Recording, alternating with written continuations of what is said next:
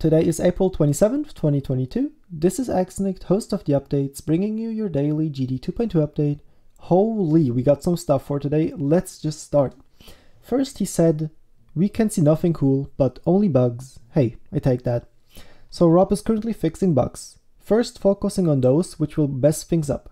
Less important ones we can fix later. And then he discovered a bug where it's throwing the character at lightning speed in random directions when standing on scaling objects. Here, take a look at this.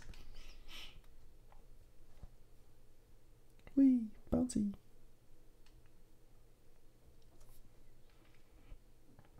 And there's another bug coming up right now. What a nice back massage. A user then said, Keep it in the game, it will make for some trampolines. And Rob replied with, You can build stuff like that without a bug. And another user asked, Area trigger is what makes blocks enter and fade? Rob said to this, Similar. Enter triggers are the ones I showed before.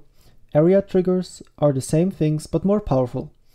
And a few minutes later, he figured out what caused the bug, and apparently it's not a bug, so it will be in 2.2. Good times. Blank grounds are added in 2.2. Oh, and here's another fresh pick from RobTop. He got some beautiful eyes, not gonna lie.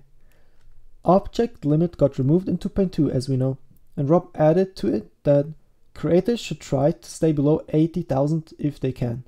Game isn't really coded to handle several hundred thousand objects. Then another user asked, Will you ever be adding a number text box thing to editor layers and Z layers? And yes, it's added, as well as a button for next free editor layer. And for everyone who is interested in RobTop PC specs, here they are. Then creator goal typed, I would like to know if there's any shader that you added after you streamed on Twitch. Rob said, improved them a lot, not sure if I added any completely new one. Creator goal texted back, also speaking of shaders, is there a way to make them apply on anything but portals? Rob replied with, you can apply shaders below or above a layer. Can't have, for example, B2, B1, F2, F3. You would have to have a player and F1 as well in the whole gate range. You could maybe put all portals on their own layer, like F4, and then apply shader to everything below F4. Uh, I have no idea what this all means, but it sounds awesome for creators. In 2.2, everyone can limit out the FPS. And then a user asked, user said, will you fix the bug with jump pads that isn't deadlocked? And yes, it's fixed in 2.2. And then this guy managed somehow to kill 60,000 icons in the title screen. How? I don't know.